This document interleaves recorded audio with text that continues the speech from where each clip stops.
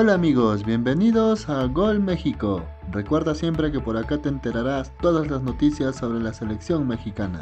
La prensa chilena llevó a Fabián Stay, un jugador que llevó toda su carrera en México, y después de su retiro, su carrera periodística también la hizo en México. Fabián Stay fue a Chile y les hizo ver que el fútbol mexicano es de lo mejor que hay en el continente, y la prensa chilena estuvo de acuerdo. Escuchemos a los periodistas.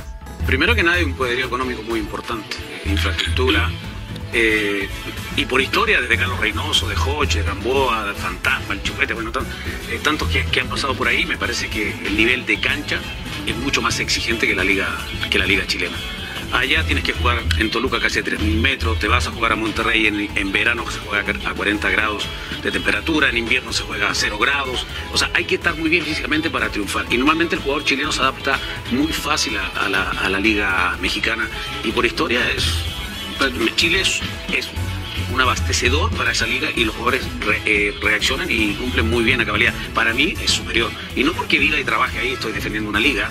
Me parece que en la historia del fútbol chileno, ¿cuántos equipos han jugado una final de Copa Libertadores? Dos. Colo Colo. No, no más. Cobreloa. La Católica. La Católica. En los mismos que tiene México. En 10 años. Que lo hizo Chivas. Tigres. Tigres. Cruz Azul. Y Cruz, Cruz Azul. Azul. Ah. Aldame. Y te digo, entonces, no es un tema que yo defienda esa situación. El nivel de cancha es muy, es muy complejo. El Vichy también estuvo ahí, conoce perfectamente todo lo que es el fútbol mexicano. El Gordo estuvo jugando en la MLS, o sea, sabe la. Eh, eh, México como liga es el, el gigante de CONCACAF. Hoy, eh, porque la MLS también está llevando ahora futbolistas directamente desde Europa y está sí. exportando también. ¿Cómo, qué, ¿En qué momento está la comparación México-Estados Unidos hoy? Hoy eh, Estados Unidos está haciendo un gran trabajo. El tema es la, el calendario, que todavía no lo adapta como si fuera de junio a junio. Claro, hay mucho tiempo libre. Sí, eh, lo hacen de marzo a, a, noviembre, porque ellos tienen muy estructurado el deporte, porque el béisbol tiene ciertas fechas, el fútbol americano tiene ciertas fechas, entonces el fútbol todavía no lo pueden eh, hacer un Pero calendario. Me, ¿Ha mejorado la MLS mucho sí, para ti en el último sí, tiempo? Ahora Héctor Herrera, que juega en el Atlético Madrid, se, se va. Se va jugador franquicia y va a ganar una. La selección la muy bien. Sí, no, muy bien. Bueno, está ahí el Chicharo. El Chicharo.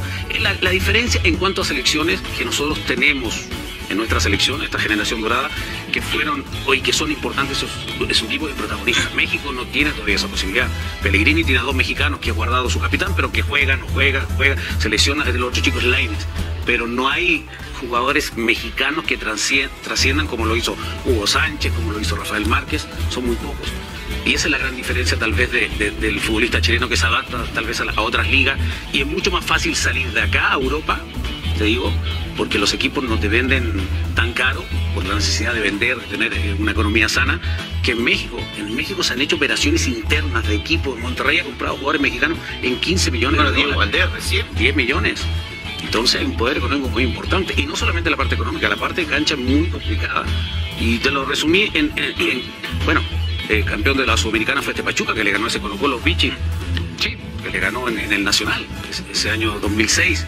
O sea, eh, eh, es una liga muy competitiva. La verdad, no es por, por decir que, que yo vivo allá, pero para mí... ¿Es porque invierten más? Invierten más, sí. Pero claro, hay, una, hay muchos jugadores seleccionados, por ejemplo, ecuatoriano. Sí, hay un campeón del mundo. Colombiano también. El francés que sí. juega en Tigre, mm. hoy ya se adaptó y está jugando muy bien. Marsella, sí, claro. Pero ya, tú dices, claro, el chileno le, le, se adapta rápido a, a, la Liga Mexicana, pero hoy día te está costando más por, eh, por, la diferencia de nivel que hay entre uno y otro. Por ejemplo, te, los casos de Valver Huerta y e Iván Morales, titulares acá, dos equipos que pelearon el campeonato, pelearon el título. Valver Huerta jugó nacional permanente en Católica, de hecho, creo que lo echan de menos incluso, pero ya no ha podido jugar. Ha jugado muy poco. Jugó un titular y se resintió, un, un tema muscular, y lo estaba haciendo bastante bien contra el conjunto de Querétaro. Y, y, Iván entró el primer partido, dio buenas sensaciones, pero después no ha tenido la continuidad.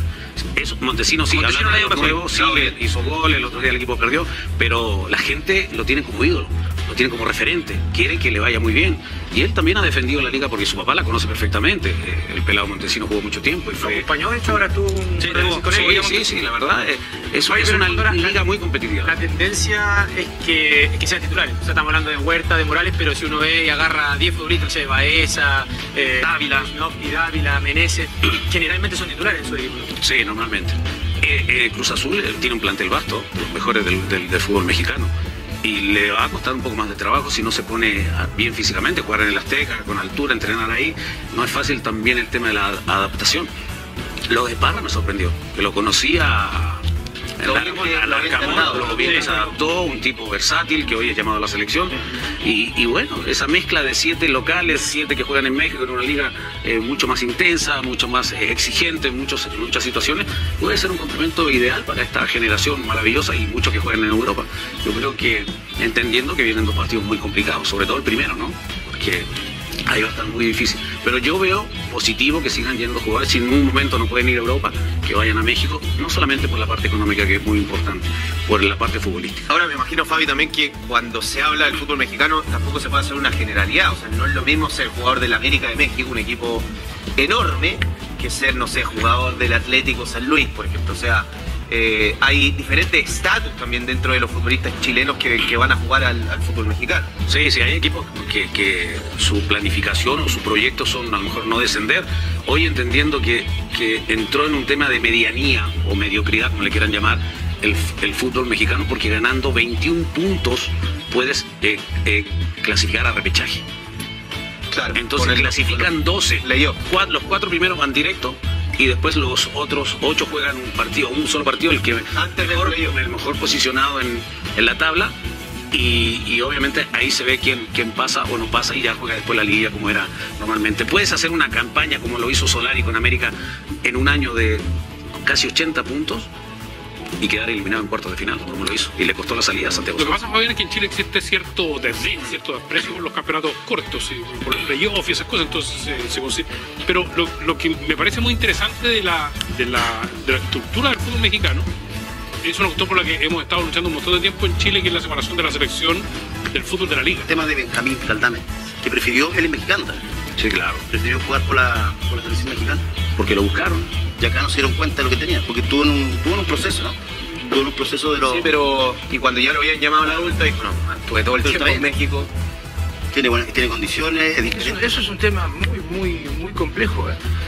Sí. Eh, en, mi casa pasa que hay tres argentinos y un chileno, que es mi hijo. Y, y mi hijo sigue siendo chileno, o sea, no, no toma mi, mi nacionalidad. Eh, y yo como no, no come asado ni toma mal. Como, como, no, todo, come mal, pero, pero, eh, pero, es complejo porque él es chileno. O sea, cuando él nació, eh, tenía posibilidad de irse a Argentina, y que nació en Chile, es chileno. Y lo de Benjamín es igual, él es mexicano. Sí, nació en México.